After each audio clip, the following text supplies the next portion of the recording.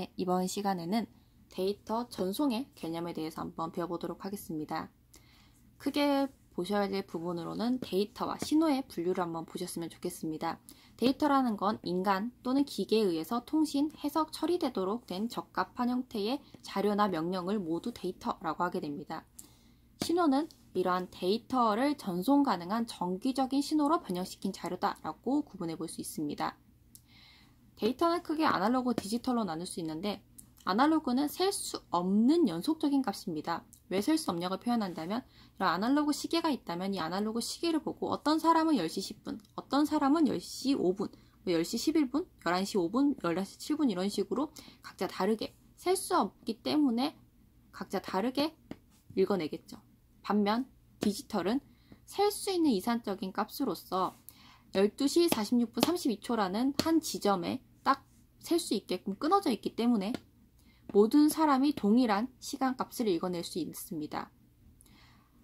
이렇게 인간이나 기계가 해석 가능한 형태의 아날로그와 디지털을 한번 보셨고 그러면 신호로서 전송 가능한 정기적인 형태로 변형을 시키면 아날로그는 다음과 같이 디지털은 다음과 같이 생겼습니다.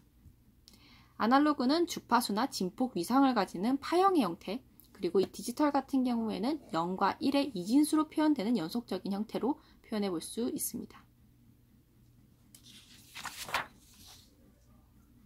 다음으로 보셔야 될 개념은 주기와 주파수입니다. 일단 주기는 시간, period라고 보시고 주파수는 frequency, 헤르츠라는 개념으로 정립을 하고 가시면 좋겠습니다. 그 다음에 보셔야 될 깊은 내용으로 주기는 이런 파형이 1회 동안 반복되는데 걸리는 시간입니다. 만약 한 번의 파형이 1초 동안에 끝났 1초 동안 반복이 됐다면 주기는 1초가 되겠죠.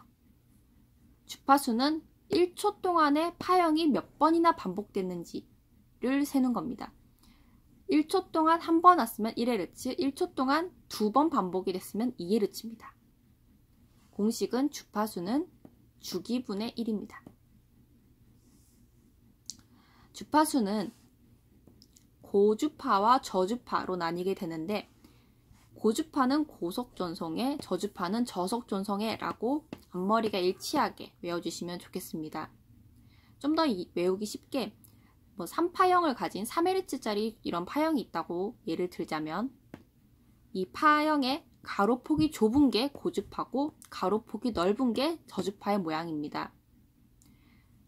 이렇게 파형이 좁은 경우 3파형 동안 이 정도 거리밖에 못 가죠.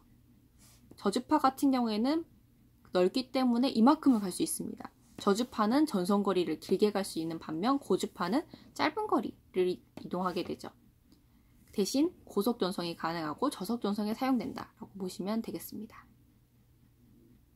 이런 주파수는 대역을 가지게 되는데 가청, 음성, 그리고 고주파. 고주파는 그냥 고주파, 그리고 very, ultra, super가 붙는 고주파로서 점점 이렇게 커지는 주파수 대역을 가지는 주파수로 분류해 볼 수 있습니다. 시험에는 이 주파수 숫자들이 나오기 때문에 어쩔 수 없이 숫자들을 한번 보시고 혹시 여력이 되신다면 암기를 하시는 게 좋겠지만 여력이 안 되신다면 문제가 나오지 않기를 비는 게 더 방법이 빠를 것 같습니다. 이런 주파수 대역의 변화 범위를 대역폭이라고 하게 되는데 이 대역폭이 중요한 이유는 대역폭이 커질수록 더 많은 정보를 싣고 갈 수 있기 때문에 중요한 개념이다 라고 이해하시면 되겠습니다. 네, 오늘은 기본적인 개념들을 좀 짚어봤는데 앞으로 학습하시는데 이번 기회에 정립을 잘 해놓으시면 도움이 되실 것 같습니다. 수고하셨습니다.